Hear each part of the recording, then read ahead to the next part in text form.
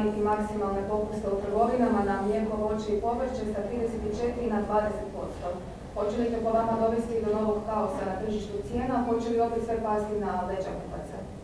Uvijek sve padne u ovoj državi na leđa hrvatskih građana, pa će vjerojatno i ta mjera past na leđa hrvatskih građana. Ono što sam rekao, da Plenković pred vama je izjavio da on jede već šest godina, znate već šta, i ovih 77 koji isto su pojeli u petak, kad ih je on u ponedjeljak, isto znate već šta, e tako i ovaj hrvatski narod već 30 godina jede to što jede Plenković i ovih 77 koji su digli ruku.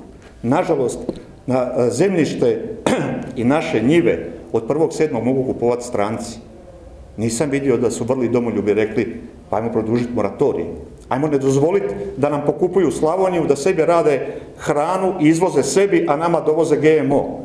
I da mi jedemo to. A imamo svoju zemlju Bogom danu, koju smo krvlju obranili i u Hrvatskoj. Pa da ne pokupuju Rusi ili Amerikanci ili bilo koji Evropljani, da pokupuju da sebi rade zdravu hranu, voze svom narodu, a da mi jedemo GMO njihovu vozbu.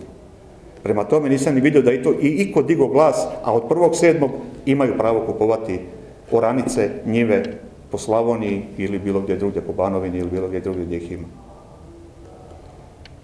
Ниш... Да, ничто.